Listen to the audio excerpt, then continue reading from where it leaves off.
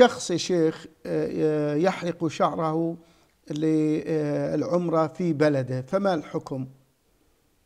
لا بأس بذلك الحلق ليس له مكان. يحلق في الحرم أو يحلق خارج الحرم لا بأس بذلك.